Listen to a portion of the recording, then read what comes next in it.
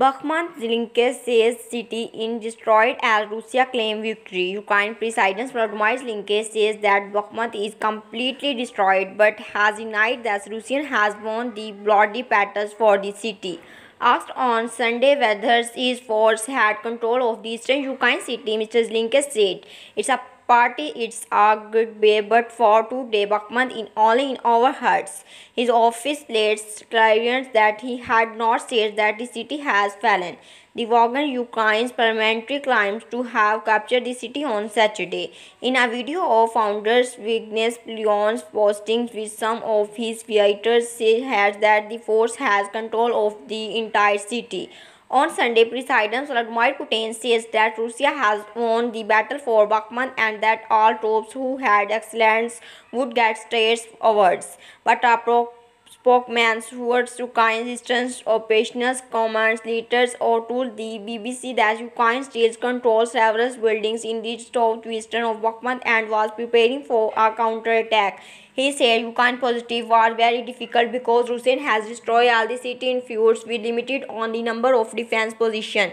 But Ukraine forces were flanking Russian troops as creating all the conditions of the southern and northern flanks to counter-attack and push them back, he said. At a press conference held at the G7 summit is Horiman's letters on Sunday, Mr. Zelensky said Ukraine's military Bakhmut was planning was very important mission. He said he would not share prices details, but instead the city was not occupied by Russians as for today.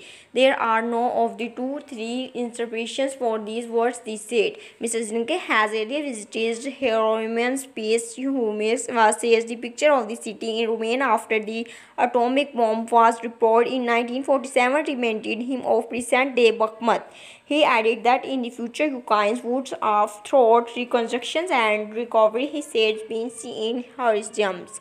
Analysis of the Bakhmut is of battle strategic value of Moscow but its capture would be ambulance victory the Russian after the longest battles of the war in Ukraine so far. The two sides have fought over of the city since August. Western officials estimates between 2,000 and 3,000 Russian troops have been killed on mountain in Bakhmut while Ukraine ministry has also paid a heavy price. Mr. Rinke was asked about Bakhmut at the meeting of G7 nations of Haromia where he has joined scale negotiations. You have to understand there is nothing to destroy everything he said at the of the hours a lot of raids Russians. Our defense they did not strong of the courage predicates them for the great job. Hardly our buildings remain standing in the city of nearly its entire population has fled. You can hope in that the long running battle has extruded Russian army and supplies. Mr. Zinke has previously called the city a fortress of Ukraine morals. Wagner forces had led to the attack on city ministers of the prisonians and frequently crises. The Ukraine's defense ministry are not providing these fightings for adequate supplies. In such a day video, Mr. Zelensky says no one and pending